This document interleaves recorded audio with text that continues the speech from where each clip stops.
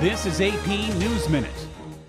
Osama bin Laden's former driver has been sentenced to five and a half years in prison. Salim Hamdan was found guilty yesterday of aiding terrorism, but was cleared on conspiracy charges. He'll be eligible for release in six months. China is telling President Bush to stop meddling in its business. The admonition was prompted by Bush's rebuke of how China stifles free speech and religion. A foreign ministry spokesman says Beijing opposes any words or acts that interfere in other countries' internal affairs. Iraqi officials say the U.S. is near an agreement on pulling all American combat troops out by October of 2010.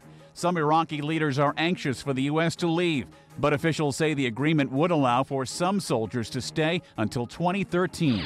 Olympic fever is spreading in Asia. A Japanese bakery has cooked up this creation, showcasing pandas and the Olympic rings just ahead of Friday's opening ceremony. Ed Donahue, The Associated Press, with AP News Minute.